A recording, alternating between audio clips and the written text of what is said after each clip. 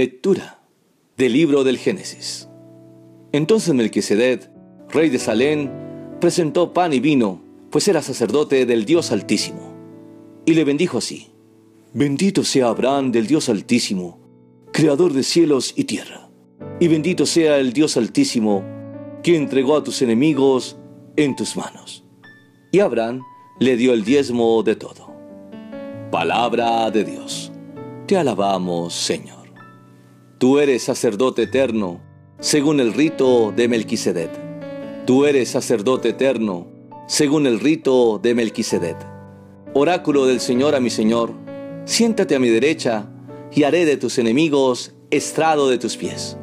Tú eres sacerdote eterno, según el rito de Melquisedec. Desde Sion extenderá el Señor el poder de tu cetro. Somete en la batalla a tus enemigos.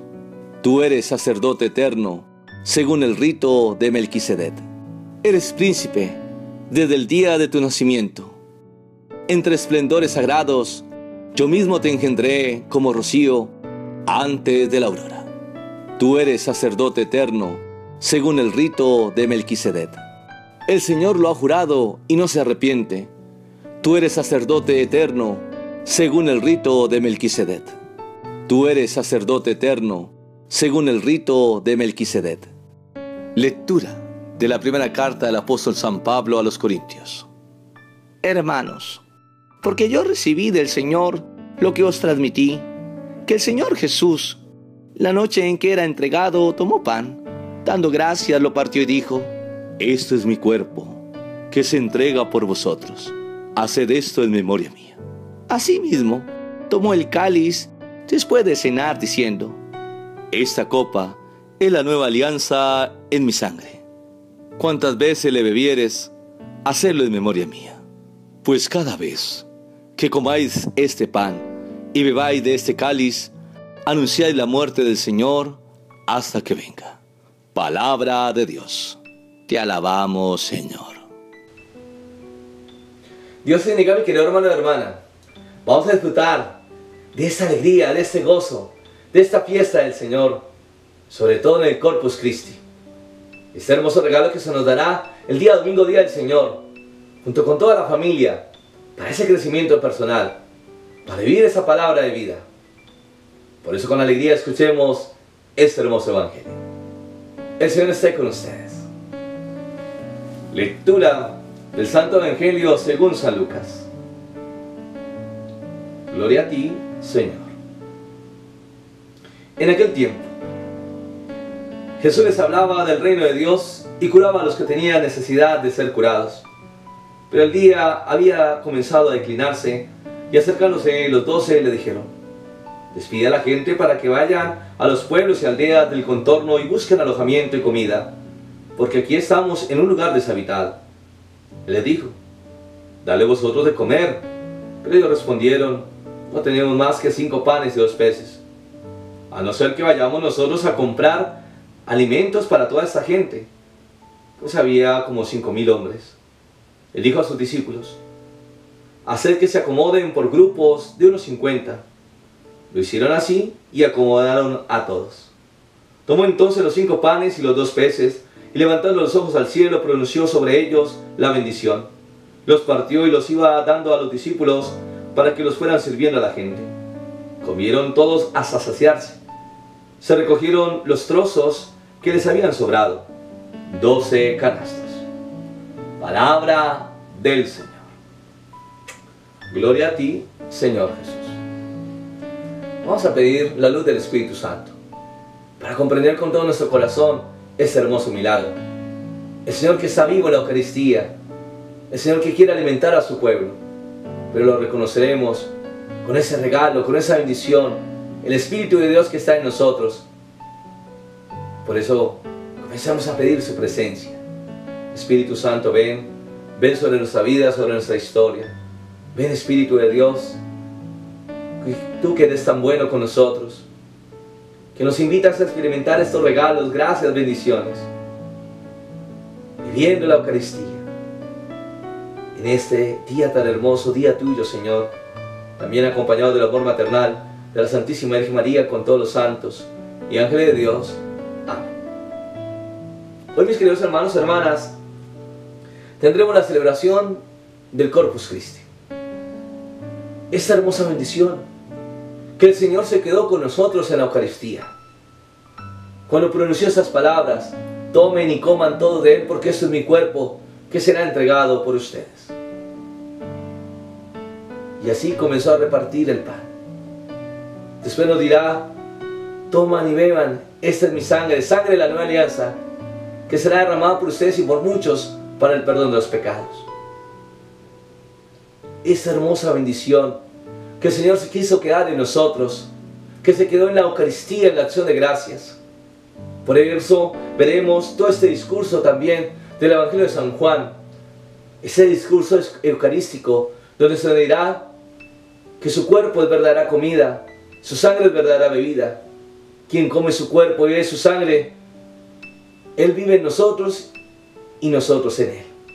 Qué hermoso regalo, mis hermanos y hermanas, cuando entendemos que Dios está vivo, que Dios nos ama y que también todos los jueves tenemos este regalo de orar por las vocaciones, para que así haya un semillero de bendición de Dios, para preparar a estos muchachos a esta experiencia maravillosa, a esta consagración, a este regalo de fe, donde nosotros, por el regalo de Dios, tenemos esa bendición de que nuestras manos sean consagradas a través del Santo Cristo.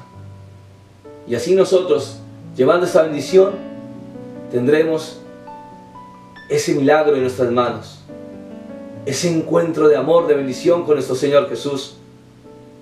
Cuando viene la consagración, cuando viene la transustanciación, un pan se convierte en su cuerpo y un vino en su sangre, donde experimentaremos tantos regalos, tantas bendiciones de Dios.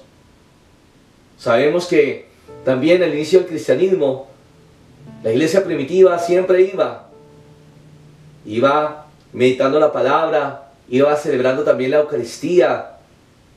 Los apóstoles llevaban esa hermosa bendición. Incluso San Pablo nos recordará en 1 Corintios capítulo 11, también nos recordará que de eso lo transmití del Señor. Y entonces vamos a comenzar a vivir esa experiencia maravillosa de fe. Comenzaremos a vivir regalos y bendiciones de la gracia. Dios que está vivo, Dios que nos ama. Y entonces comprenderemos que no estamos solos.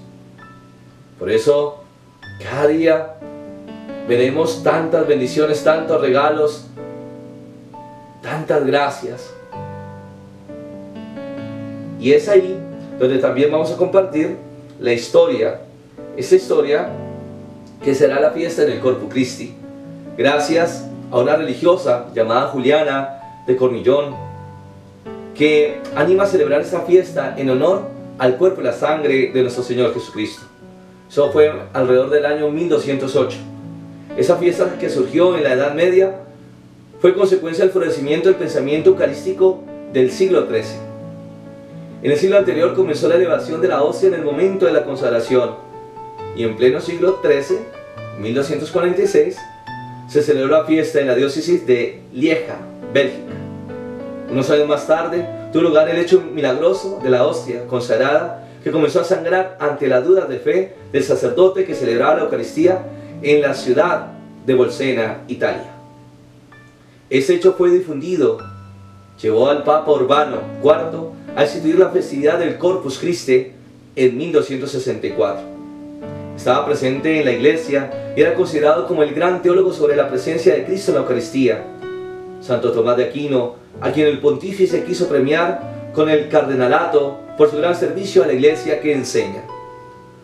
Pero el humilde dominico le ofreció otro servicio a la iglesia que el pontífice le concedió, preparar los textos litúrgicos de dicha fiesta. Gracias a esa concesión tenemos estas obras poéticas resumando la ciencia sublime del gran teólogo y el amor del gran santo, a quien la iconografía ha colocado la custodia en el pecho de sus imágenes como símbolo de Santo Tomás de Aquino. Himnos de la calidad de Pangelingua, laudación, Panis Angelicus, adoro de deboche. salieron de una espléndida pluma y siguen sacudiendo nuestra falta de correspondencia a quien teniendo que irse al cielo se quedó con nosotros en persona y no solo un recuerdo. Veremos que en el siglo XIV tendremos acontecimientos que reforzarán dicha solemnidad, que tendrían desde entonces dos actos fundamentales, que son la Eucaristía y la procesión.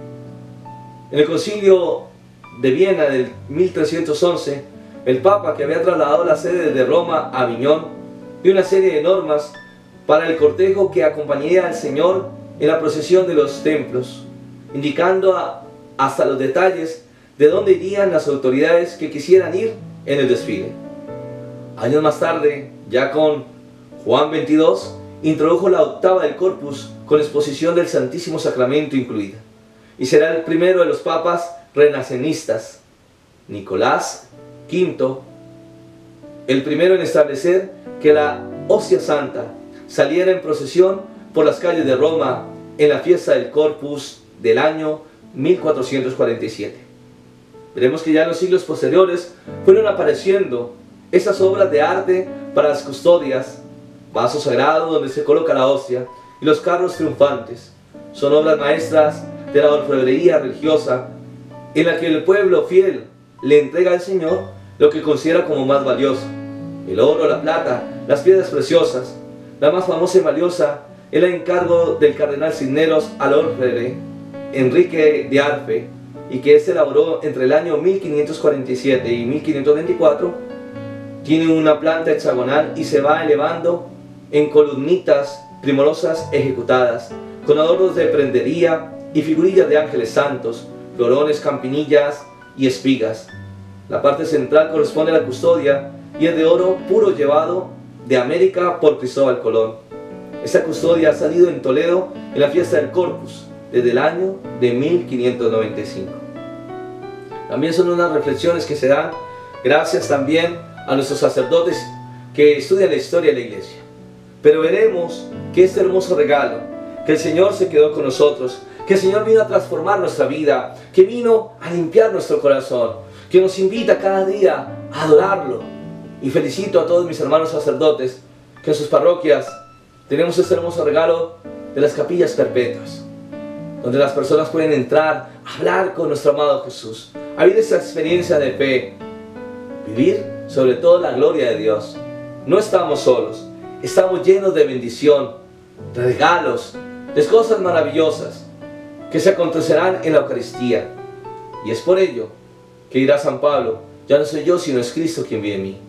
Por eso abramos nuestro corazón, busquemos la presencia de Jesús y seremos transmisores de tantos regalos, tantas gracias, tantas bendiciones. Y que sobre todo nosotros como sacerdotes tenemos esta hermosa bendición. Nuestras manos fueron consagradas, nuestro corazón también, nuestra vida, nuestra historia. Y por eso le pedimos al Señor que nos regale esa fidelidad, que nunca nadie nos pueda apartar del amor de Cristo, porque en Él encontramos la vida. Nosotros mismos nos consagramos, tanto en cuerpo y alma, y somos solamente somos instrumentos de su amor para ver los regalos y bendiciones que acontecerán en la vida del ser humano. Bendiciones del amor de Dios. Ahora con todo el corazón nos unimos a través de la oración para que podamos ver los milagros de nuestro amado Jesús en la Eucaristía. En el nombre del Padre, y del Hijo y del Espíritu Santo. Amén.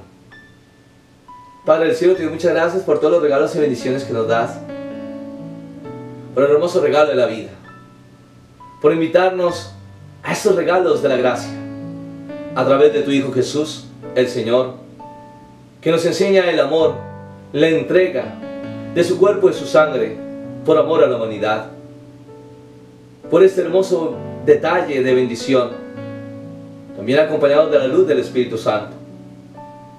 Hoy pedimos, Señor, en tu nombre precioso, que podamos darle esa dignidad, ese amor, esa bendición, que vives en la Eucaristía, que vienes a bendecir a tu pueblo, que cuando estamos delante de tu presencia, nuestro corazón palpita de amor, y que ese palpitar nos lleva cada día a seguir ese hermoso camino, verdad y vida en ti. Hoy te pedimos para aquellos que no creen, que no te aman, no te adoran, en la Eucaristía. Hoy pido perdón especialmente por aquellos que se creen ser seguidores de Satanás y que de una forma vienen a hacer sacrilegios, a burlarse de este hermoso regalo de tu cuerpo y de tu sangre.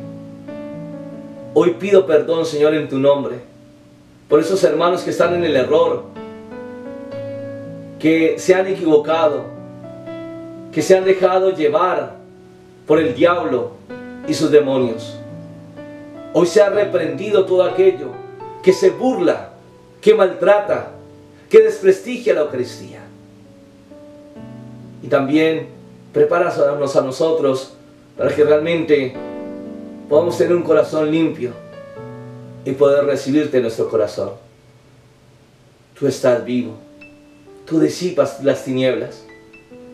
Hoy pedimos por aquellos que están en el alcohol, en la drogadicción, en la mentira, en el engaño, en la duda, en la pornografía,